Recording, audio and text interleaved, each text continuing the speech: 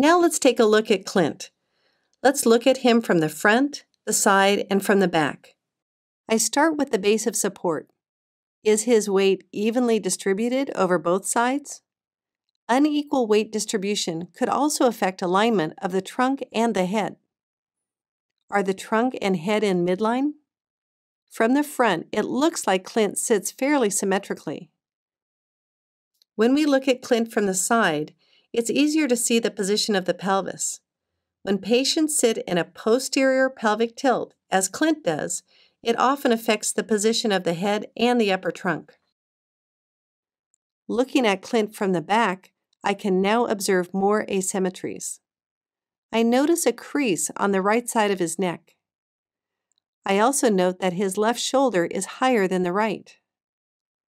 The left scapula is more pronounced than the right. And his left upper extremity is in slight abduction and internal rotation. I also make observations while the patient moves. I call these dynamic observations. The information quickly becomes more complex. If problem areas are subtle in the static position, it's often easier to see them as the patient begins to move.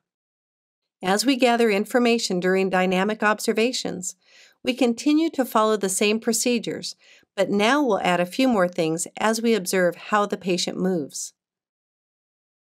First, what is the quality of their movement?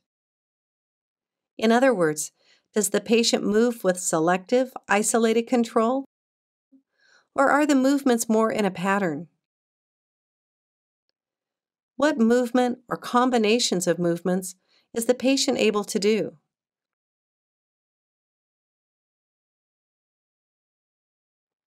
I usually look proximal first and then more distal.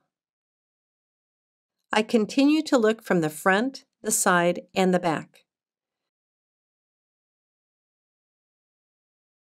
It is also helpful during my evaluation to ask them to move their sound side. I can then compare the movement of the two sides.